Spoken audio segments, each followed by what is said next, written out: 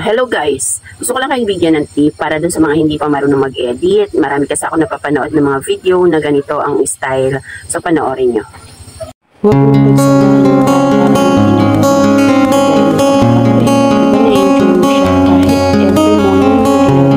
Ayan yung isang halimbawa ng video na napapanood ko. May overlay siya na sound and then meron din siyang uh, voice over pero yung voice over na tabunan ng kanyang background music. So, yun yung mali.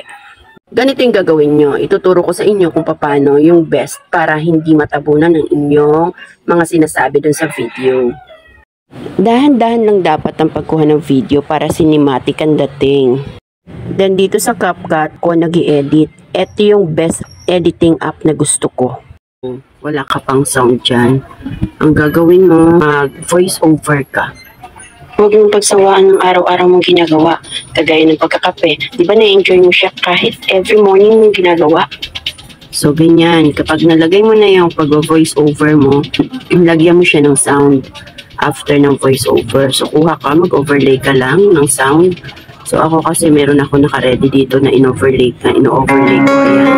So, ayan. I-add mo lang siya. And then, i-cut mo lang siya dun sa pinakadulo dito. Yan.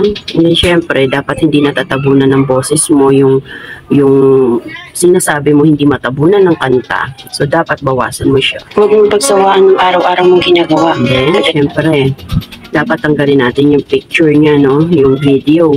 Yung sound lang ang kukunin natin. So, i-extract mo siya. After mo siya i-extract, burahin mo na sa upper part. Burahin mo yung yung video. Ang matitira na lang dyan ay yung sound. Huwag mong pagsawaan ng araw-araw mong ginagawa, kagaya ng pagkakape. Di ba na-enjoy mo siya kahit every morning mong ginagawa? That's it. Ganun lang po. And then, export mo na siya. Kung sa tingin mo ay maganda na. Huwag mong pagsawaan ng araw-araw mong ginagawa, kagaya ng pagkakape. Di ba na-enjoy mo siya kahit every morning mong ginagawa? O, di ba? Ang ganda. Ngayon, kung ganito kasi yung itsura niyan, makikita nyo ang difference ng ng natalo ang salita mo kaysa dun sa tugtog. So, pag ganyan kasi yan guys,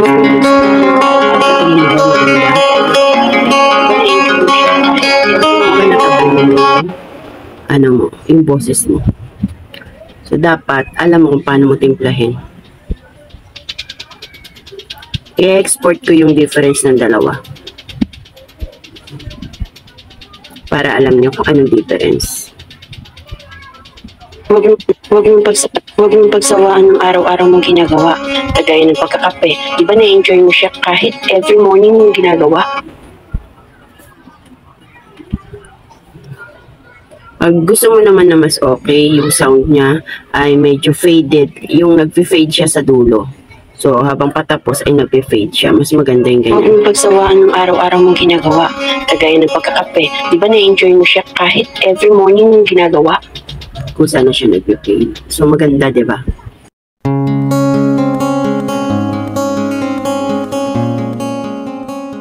Ayun, ganun lang ka-easy guys. Try nyo na.